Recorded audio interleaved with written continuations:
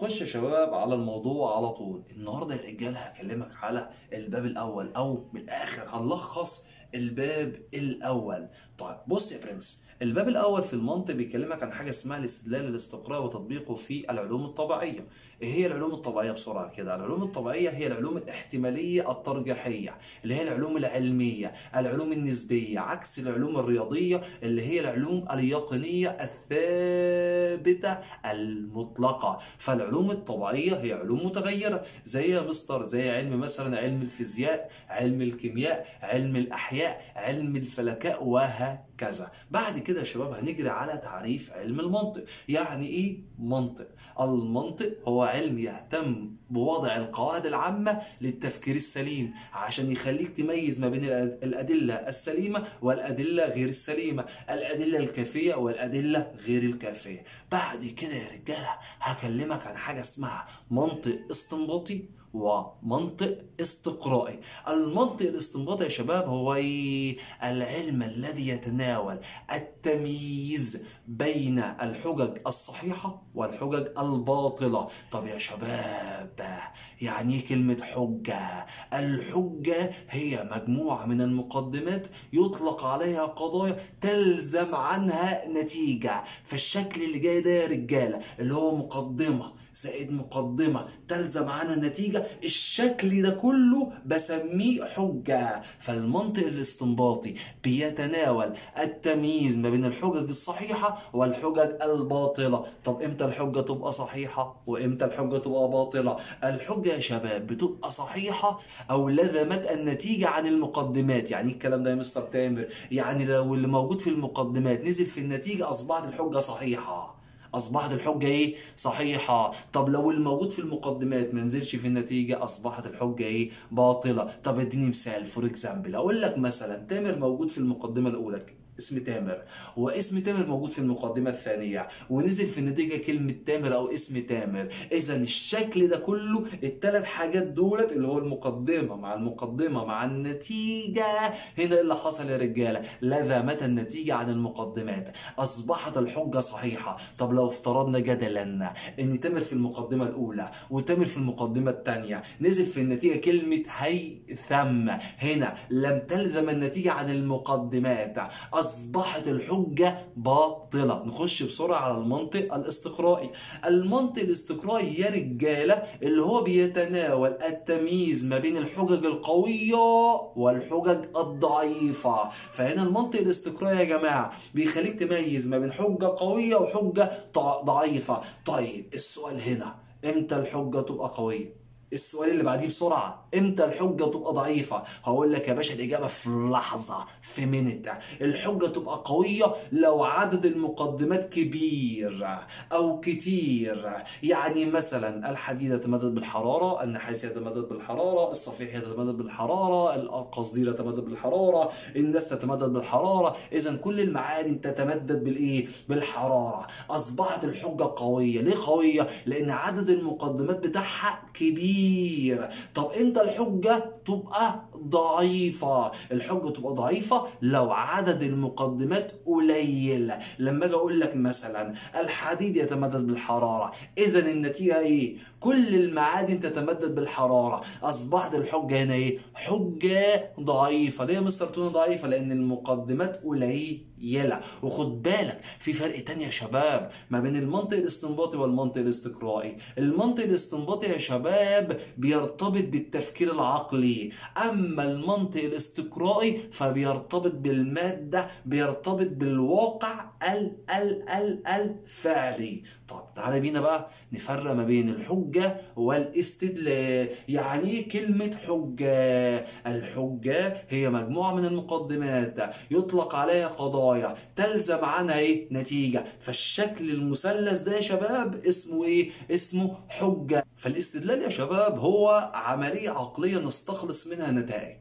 أو يا شباب مجموعة من المقدمات تلزم عنها نتيجة. حد هيسألني سؤال ذكي لولبي محوري. يا مستر تامر ما كده الحجة شبه الاستدلال.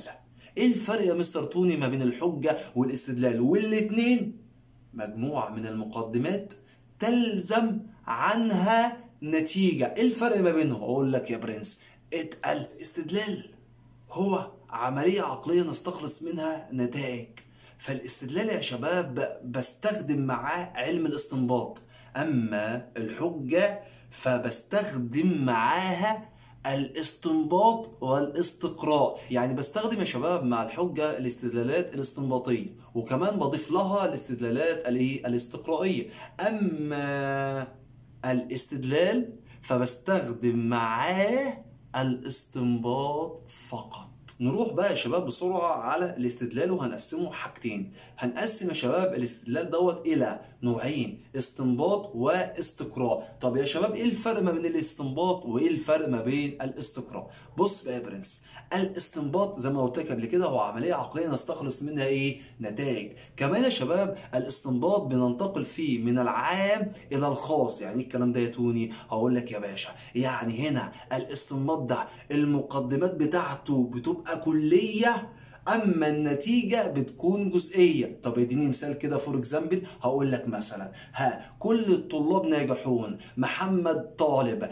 اذا النتيجة إيه يا مستر تامر محمد ناجح. صح ولا مش صح؟ لو ركزت معايا كده هتلاقي المقدمة الأولى عام المقدمة الثانية خاص النتيجة مالها يا مستر تامر النتيجة خاصة. فهنا الاستنباط بنتقل فيها يا شباب من العام إلى إيه إلى الخاص. ولو حضرتك ركزت سيكا. هتلاقي إن في الإستنباط دايما النتيجة بتكون أصغر من المقدمات. طب يا مستر تامر إيه هو بقى الاستقراء؟ هقول لك يا برنس الاستقراء عكس الكلام ده كله. الاستقراء هو انتقال من الخاص إلى العام. يعني الاستقراء بينتقل من حاجة صغيرة صغيرة صغيرة لحاجة كبيرة. يعني هنا يا شباب في الاستقراء دايما المقدمات جزئية. أما النتيجة كلية. ولو لاحظت حاجة برضه هتلاحظ إيه يا برنس؟ هتلاحظ إن النتيجة أكبر من المقدمات لأن النتيجة فيها كلمة كل. هديك مثال الحديد يتمدد بالحرارة خاص النحاس يتمدد بالحرارة خاص. إذا كل المعادن مالها يا برنس؟ اذا كل المعادن تتمدد بالحرارة فالنتيجة أكبر من المقدمات. يبقى هنا في فرق جوهري ما بين الاستنباط والإيه؟ والاستقراء دايما النتيجة في الاستنباط بتساوي أو أصغر من الإيه؟ المقدمات. أما الاستقراء فدايما النتيجة أكبر من المقدمات. في فرق تاني يا برنس؟ آه. في فرق تاني ما بين الاستنباط والاستقراء. دايما يا شباب أنا بستخدم الاستنباط في العلوم الرياضية والمنطقية اللي هي بتتم داخل الإيه؟ العقل. أما الاستقراء فلا. فدايما في الاستقراء بستخدم مع العلوم الطبيعية. زي ما قلت لك قبل كده زي علم الفيزياء زي علم الكيمياء زي علم الايه؟ الأحياء اللي هي العلوم النسبية المتغيرة. أما العلوم الرياضية المنطقية فهي علوم ثابتة مطلقة. فده فرق تاني ما بين الاستنباط والاستقراء. فالاستنباط علم يقيني أما الاستقراء علم احتمالي. ترجيحي احتمالي ترجيح تعال بقى يا معلم نعرف الاستقراء عند أرسطو.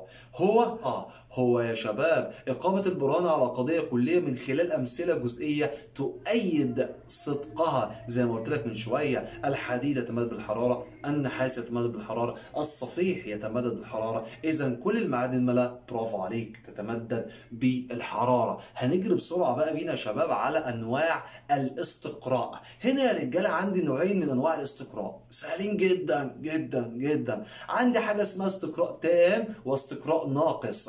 الاستقراء التام يا شباب لتعريف هو فحص جميع جزيئات الظاهرة. إمتى بستخدم هذا الاستقراء؟ لما تكون عدد الظاهرة قليلة أو ممكن أو أقدر أعد الظاهرة. مثال عدد أو حصر عدد الطلاب داخل الايه داخل الفصل. فهنا الاستقراء التام دوت استقراء ملهوش 30 ألف لازمة. ليه؟ لأن أنا بستخدمه لما إيه؟ لما تكون الظاهرة اللي قدامي ظاهرة محكومة. عشان كده بنسمي الاستقراء التام استقراء تعدادي أو استقراء إحصائي. عشان كده الاستقراء ده مش حلو. عشان كده الاستقراء دوت هننقضه. هننقضه إزاي يا مستر توني؟ هقول لك يا باشا الاستقراء التام ده مثله مثل الحجة الاستنباطية. ينتقل من المقدمات إلى النتائج. يعني إيه الكلام ده؟ يعني النتيجة تلزم عن المقدمات مع إن الكلام دوت ما يصحش نقوله على الاستقراء. الكلام ده بتاع الاستنباط.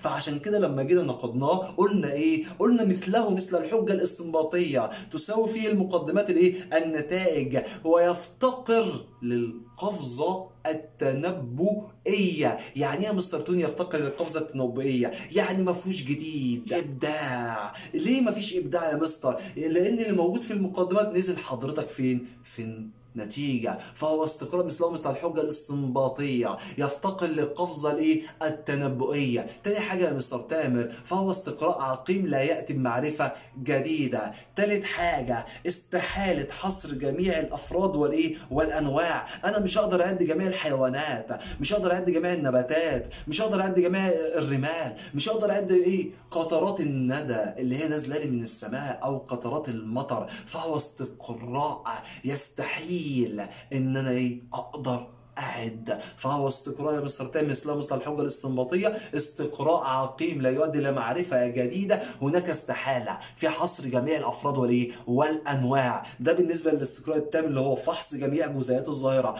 أما الاستقراء الناقص لاسم تاني إيه هو؟ استقراء علمي. ليه اسمه استقراء علمي؟ لأن العلماء يستخدمونه. ليه يا مستر؟ لأن في حاجة اسمها قفزة تنبؤية. مش بيلتزم بالمقدمات ويحط لك الكلام ده فين؟ في النتيجة. لأنه يرتبط بالواقع ليه؟ الفعلي. لأنه يرتبط بالواقع ليه؟ الفعلي. ينتقل من الجزئيات إلى الكليات. يعني الحديد يتمدد بالحرارة النحاس يتمدد بالحرارة. إذا كل المعادن تتمدد بالحرارة. مش واجب عليا أفحر في الأرض وأجيب كل المعادن عشان أختبرها.